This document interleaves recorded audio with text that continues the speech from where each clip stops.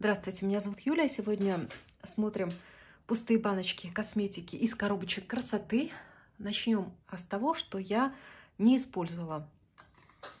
Вот такой крем я отдала маме, солнцезащитный с SPF 35 от Яда. 50 миллилитров здесь было. Сроки годности у него в порядке, но я уже в прошлом году его открыла и как-то не особо активно им пользовалась, поэтому решила отдать маме э, корейское производство, различные экстракты и так далее. В общем-то, с ним все в порядке, но просто я э, пользуюсь биби-кремами. И отдельный SPF как-то я не думаю, что мне нужен. Поэтому, чтобы он у меня все-таки не лежал, я его отдала, и пусть мама пользуется. А у меня еще есть какие-то миниатюрки-пробнички, если вдруг будет надо, но всегда можно купить такую вещь. Далее буду избавляться от сломанного лосьона для тела от Зейтун. Он идет с блестками, с органовым маслом. И здесь, наверное, 200 миллилитров. Сколько? Да, 200 миллилитров. 26 год срок годности. Вот минус в том, что он при транспортировке сломался. Он был в новогодней коробочке. Флакон, наверное. Жалко, конечно. В принципе, можно подобрать какую-то помпу, перелить в другую емкость и так далее. Но я э, уже пробовала подобные лосьоны от Зейтун. У меня были саше, такие пробники. В общем, я не осталась в восторге. Я от него избавлюсь. И идет у нас вот такие тюбики э, корейской, корейской аптечной косметики. Прошу прощения. Я очень рада, что мне попались, это в Total Look в последнем, две вот такие миниатюры с мицеллярным очищающим гелем а, от Урьяж и от Авен. Урьяж здесь малышка 8 миллилитров, прошу прощения, от Авен 15 миллилитров. По паре раз я их попробовала и поняла, что это не моя история. Это как я понимаю, мицеллярка, но в формате геля. То есть это не пенящееся средство, это мицеллярный гель, который наносится либо на сухую, либо на влажную, слегка влажную кожу. А, Все это надо помассировать, потом как-то смыть. В общем, для меня это, этот вариант не работает. И так получилось, что до этого я еще получала такой же вариант э, геля от Урьяш, но э, в travel версии 50 миллилитров – и вот они у меня закрытые лежат. Хорошо, что я, в общем-то, их и вскрывать не стала. Для меня такой формат не подходит. Я для снятия макияжа люблю либо мицеллярку, либо пенящееся мягкое э, какое-то средство для умывания, э, либо уж бальзам тогда гидрофильный. Ну, вот, это, вот этот вариант мне не подошел, к сожалению.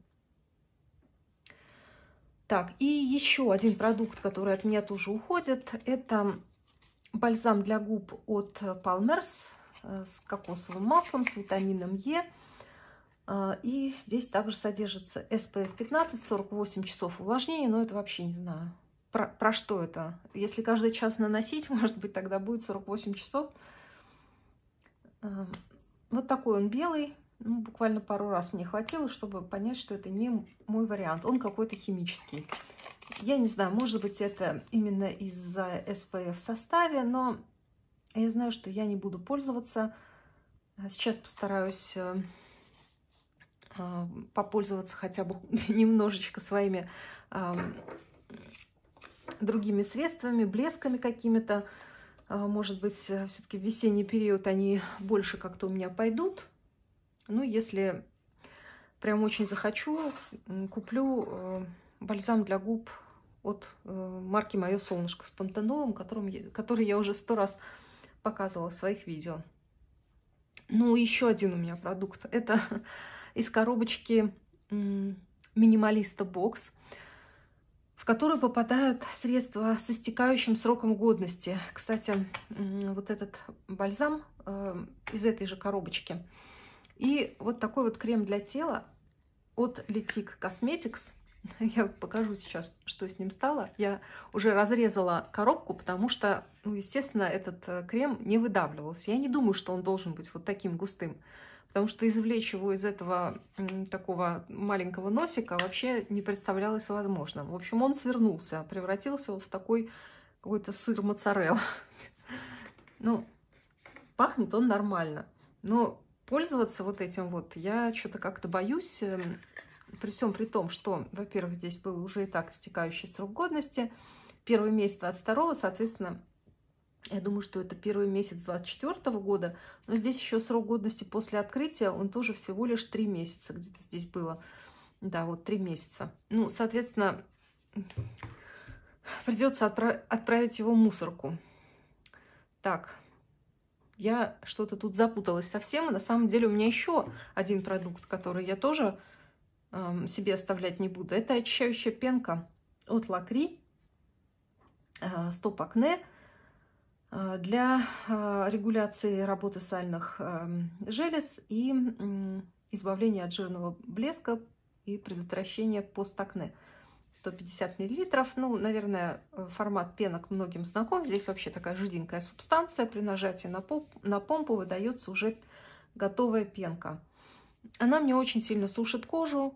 Возможно, э, уже в летний период ситуация чуть-чуть поменяется, но я поняла, что вот такие агрессивные средства я использовать не хочу, тем более там на каждодневной основе. Я уже сказала, у меня есть э, хорошие средства для умывания, мягкие. Все-таки для возрастной кожи это уже не совсем правильный вариант. В общем, она практически полная, тоже она мою коллекцию покидает. Вот сколько у меня средств оказалось неиспользованных эм, в этом отчете. Итак, что у меня закончилось? Закончились два шампуня от L'Oreal Professional из разных линеек. Metal Detox, Absolute Repair – по 100 мл здесь было. Маски я закончила гораздо раньше. Они приходили в коробочках дуэтом. И если линейка Absolute Repair, э, здесь шампунь такой более э, щадящий, действительно он подходит э, для сухих и поврежденных волос, мне он недостаточно очищает кожу головы, то вот эта линейка Metal Detox мне очень понравилась. Здесь и приятный аромат, Э, дорогих эм, салонных средств э, по уходу за волосами и очень хорошее, очень хорошее очищающее свойство. Ну, они здесь э, рекомендуют вот эту линейку для волос окрашенных, с милированием. По всей видимости, этот шампунь должен еще и убирать желтизну окрашенных волос. Но для меня он замечательно работал, понравился. Если где-то будет попадаться еще в коробочках, с удовольствием буду использовать. Но э, полноформатные варианты не покупаю. Они, конечно, довольно-таки дорогие сейчас. Так, сыворотка NU от Avon с протинолом. 10 миллилитров здесь было. Можно ее было использовать и для ночного, и для дневного применения, но я использовала исключительно для дневного, так как здесь э, смогу что-то выдавить. Так, уже и вот, маленькая капелька. А, здесь есть в составе светоотражающие частички, но она какая-то немножечко агрессивная, как мне показалось. Аромат приятный, но какое-то даже пощипывание ощущается. Как-то я не прониклась, не прониклась я э, э, к этой сыворотке э, какими-то нежными чувствами, хотя вот эта вот линейка у Avon, она довольно-таки дорогая, позиционируется как антивозрастная. Ну, я уже даже не знаю, какие там сейчас цены на всю эту косметику, так как уже давным-давно не заказываю. Так, Эфоклар до плюс, прошу прощения, 15 миллилитров крем который борется э, э, с постакне, предотвращает появление акне, французское производство. Ну, в общем-то, я пользуюсь периодически. Это не на каждый день для меня вариант. Обязательно мне нужно наносить после этого крема какой-то более увлажняющий крем, потому что этот крем все-таки кожу мне подсушивает. Ну вот, э, не знаю, делает он что-то или нет. Во всяком случае, я э, им пропользовалась э, как раз в осенне-зимний период. Ну, так, чтобы вот прям покупать, нет, не собираюсь пока. Так, от Виши э, из линейки Slow Age э, закончился э, ночной крем. Ну, крем-маска, они позиционируют этот продукт медового цвета. Оставалось у меня еще такое саше 2 мл. Подходит для всех типов кожи и предотвращает первые признаки старения. Э, очень интересное средство, такое медовое по консистенции. Э, приятное, хорошо увлажняет кожу. Э, я, по-моему, две баночки по 15 мл использовала еще какое-то время назад.